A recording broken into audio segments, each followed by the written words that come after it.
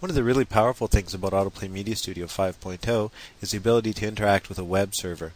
So for example, in this model that we're looking at here, you've got an application which you've published from Autoplay Media Studio and distributed to an end user. They're running the application on their computer and in turn the application is accessing a web server such as your website and it can create one or two-way data interaction here with your website. So for example, on our website we could have a database or a server-side scripting language, um, any type of thing to interact with your script.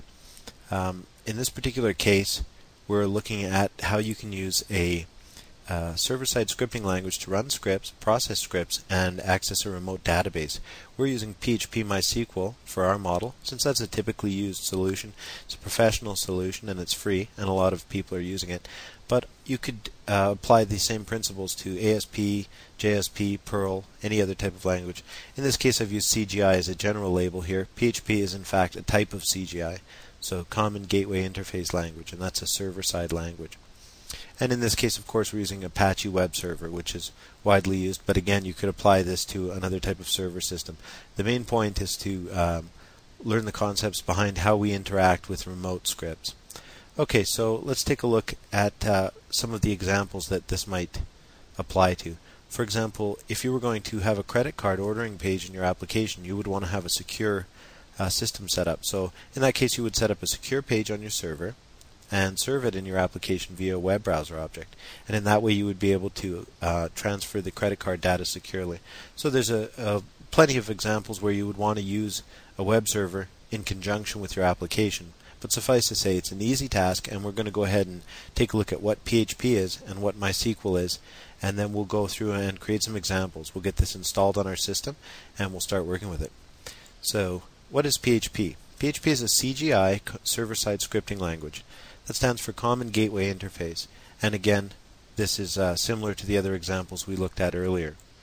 PHP is free, it's easy to learn, and it's easy to use. Most people that start using PHP are shocked at how easy to learn it is. It's very, very easy to learn, even if you have never done any programming before. And there's a lot of free tutorials and whatnot on uh, Google or on the internet. So it's definitely worth downloading a copy of PHP. And in the next tutorial, we'll take a look at how you can get PHP and install it on your system very quickly. PHP is powerful, secure, and modular.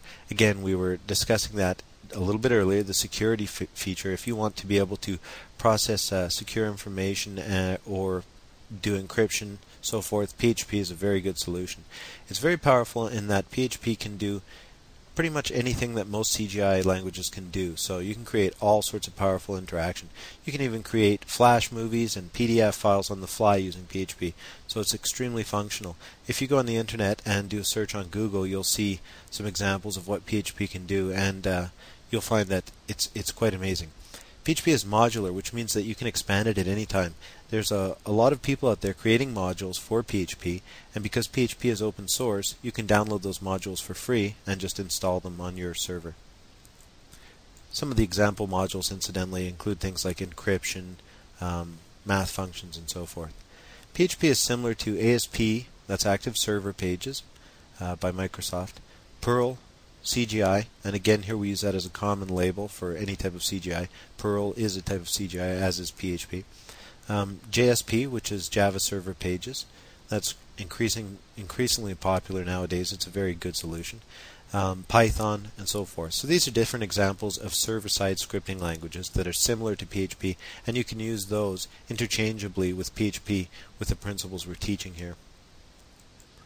PHP is not similar to JavaScript, VBScript, DHTML, which is dynamic HTML, and so forth. These are server, uh, these are client-side rather languages that um, execute on the user's machine, as opposed to the server-side languages here in point four, which execute on the server. So the main difference between these sets of languages is that one set of languages, like ASP, PHP, Perl, JSP, those execute on a server and then the functionality from that is returned to your application.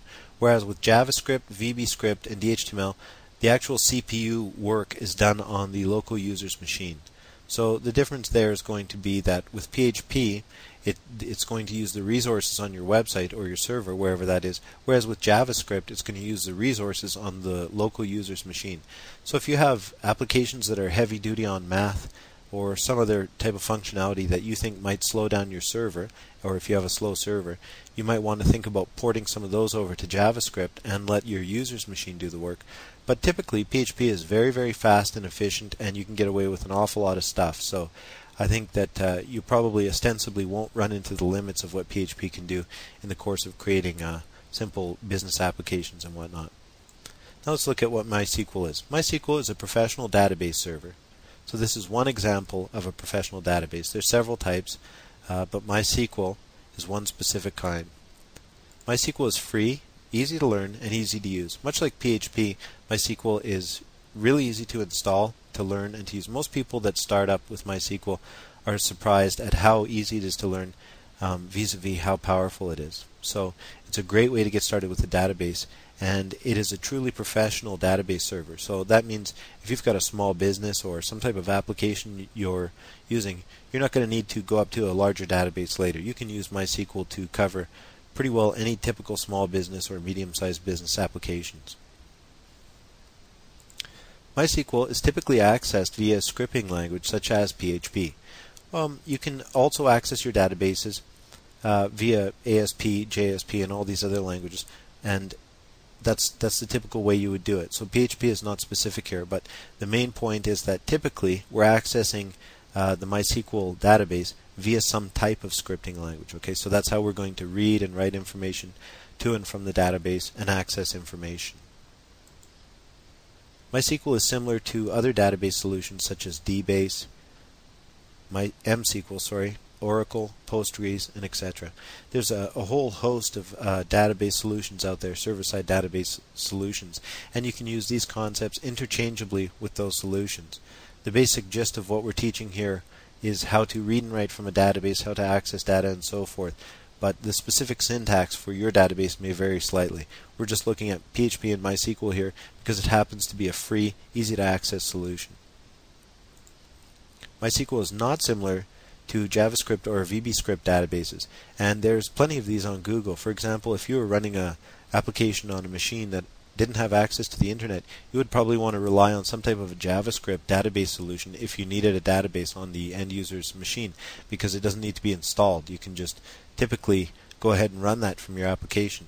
In the case of MySQL, it needs to be installed somewhere on a machine, in this case on our website or web server. Um, typically, for any professional database solution, that's going to be the case. You're going to need to install that database engine on a computer somewhere. And typically, um, you're probably not going to want to install the database engine itself on the end user's machine, although it's possible and you can run things that way. Okay, so we'll look at the final summary of what we've learned here, and that is that we've got a database on a server here, in this particular case Apache, and it's a MySQL database, and then we've got a client-side uh, end user here who's running our application, and they're communicating back and forth with our web server, and we're doing that via PHP in this case. So let's go ahead on to the next lesson and learn how to install PHP and MySQL, and then we'll jump right in and get going with some examples.